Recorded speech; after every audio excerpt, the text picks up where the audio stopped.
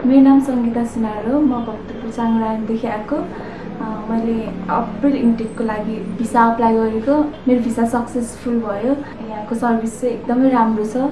यहाँबाट धेरै कुराहरू सिक्न पाएँ। हामी यहाँबाट अप्लाई गर्दाखेरि जापानको लागि अप्लाई गर्दा कसरी अप्लाई गरि गर्नुपर्छ के के चिजहरू हाम्रो लागि चाहिन्छ त्यो चिजहरू उहाँहरूले गाइड गर्नुभयो। म प्लेसमेन्टमा आइसकेपछि मैले प्लेसमेन्टमा आइसकेपछि जापानको कल्चर रुल्स एन्ड रेगुलेसन्स स्कुलको बारेमा धेरै इन्फर्मेसन पाएँ।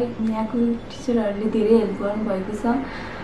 डकुमेन्ट डक डकुमेन्ट बनाउनको लागि देखि लिएर भिसा अप्लाईसम्मको प्रोसेसिङमा धेरै हेल्प गर्नुभएको छ। त्यसको लागि प्लेसमेन्टलाई धेरै धन्यवाद दिन चाहन्छु।